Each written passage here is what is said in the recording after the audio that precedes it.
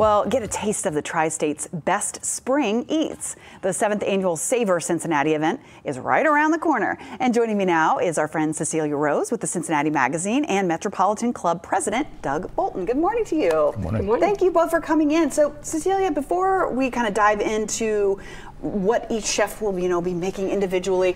For people who don't know a lot about what Savor Cincinnati is, maybe they've heard about it. Tell us a little bit more about the event. It is a very unique experience. It's uh, at the magazine. We invite two chefs from two different restaurants, and then we challenge them to collaborate in creating a five-course fine dining menu. Mm.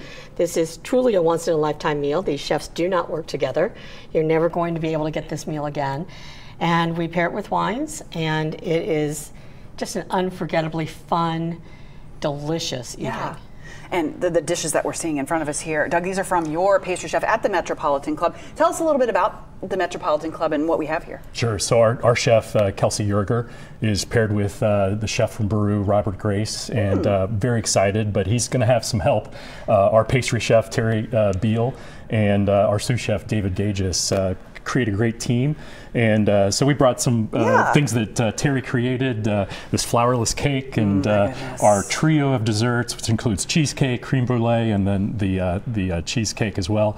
And um, this is not what we're going to see um, to, uh, Wednesday night when we are the showcase. Um, we are so excited to uh, bring the event across yeah. the river. Yeah. Um, you know, these uh, these crowns here represent uh, the the crown. We are at the top of the River Center Tower okay. in Covington, Kentucky. Yeah. Local 12 has a great view of Cincinnati, but we have a better view. Okay, well, I'm going to need to come over Cincinnati. there and experience exactly. the food and the view. Yeah. So our you know, fifth course is a, uh, a yuzu tart, um, but our first through four courses are some amazing foods that uh, Chef Kelsey and, and uh, Robert have come up with. Uh, a Beausoleil oyster is the oh. start.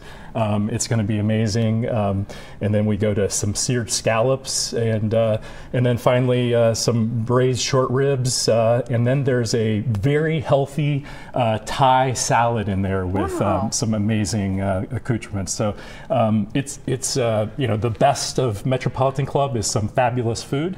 Um, but we're a business and social club um, with 1,400 members yeah. across the tri-state, 70% of them here in Cincinnati. It's a, well, an amazing place. And this is a neat way for people to get to experience it if they, you know, haven't become a member yet or or, or that. And Cecilia, for people who want to maybe are interested in coming to the dinners, there's a, usually a spring one of these and a fall one, but the spring is still there's still tickets available. There are. Uh, Friday is sold out, but Tuesday, Wednesday, Thursday still have tickets, and they all have amazing menus. You can go on our website and see the chefs, see the menus.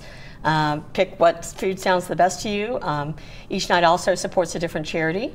So all the wines that people are choosing or experiencing that night along with the meal, they can choose to purchase and all that all those proceeds go to that yeah. nice charity. So great, and this is the first week in April. And if people want to find out more information or, or buy tickets before they all sell out, where do they go? Uh, CincinnatiMagazine.com/slash/savor. Okay, easy enough. Mm-hmm. I've heard so many great things about this, so don't miss out on this opportunity. You can always find our stories here on YouTube, but go ahead and tap subscribe. That way you're always in the know.